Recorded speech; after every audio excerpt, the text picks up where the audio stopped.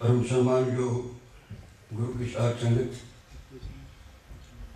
आप सारे जानते हो कि भाई साहब, भाई अवतार सिंह जी, इन्हें कि रहे सन। और हर वेले अपने जीवन खुश रहना, क्योंकि मैं चेता है कि 1980 के अंदर जब मेरी बच्ची की शादी थी, ये उठे आ गए सन। ਤੇ ਮੈਂ ਅੱਗੇ ਬੱਚੀ ਦੀ ਸ਼ਾਦੀ ਆਨੰਦ ਦਾ ਤੁਸੀਂ ਪੜਾਉਣਾ ਹੈ। 8 ਦਿਨ ਫਿਰ ਮੇਰੇ ਘਰ ਰਹੇ ਤੇ ਬੜਾ ਕक्षा ਸੀ ਹੈ ਕਿ 8 ਦਿਨ ਬੜਾ ਆਨੰਦ ਮਾਣਿਆ, ਅੱਛੇ ਖੇਡੇ, ਬੜਾ ਸੋਹਣਾ ਉਹ ਸਮਾਂ ਯਾਦ ਆਉਂਦਾ ਹੈ। ਤੋ ਐਸੇ ਮਿੱਤਰ ਮਿਲਦੇ ਬੜੇ ਔਖੇ ਨੇ। ਅੱਜ ਕੱਲ੍ਹ ਤੁਸੀਂ ਮਿੱਤਰ ਦੇਖ ਲਓ, ਜਿਹੜੇ ਮਿਲਦੇ ਨੇ, ਉਹਨਾਂ ਦੀ ਚੋੜੀ ਚੜੀ ਹੁੰਦੀ ਹੈ। ਕੋਈ ਮਿੱਤਰ ਐਸਾ ਹੀ ਮਿਲਦਾ ਮਿਲਣਾ ਹੀ ਜਿਹਦੇ ਬੱਚੇ ਦੀ ਖੁਸ਼ੀ ਹੋਵੇਗੀ। ਬੜਾ ਔਖਾ ਹੋ ਕੇ ਮਿਲਦਾ ਹੈ।